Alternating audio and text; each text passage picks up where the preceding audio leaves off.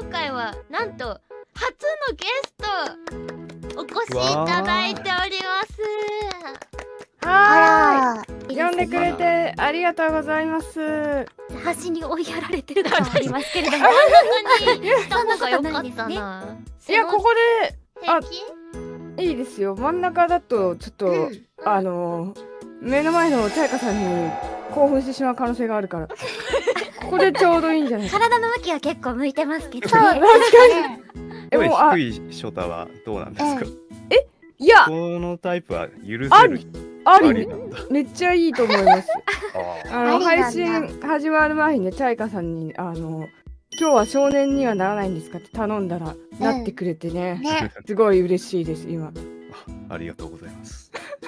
頑張ればチャイちゃん寄り添えるじゃん。え？事案？いいの？じ事案になってあ。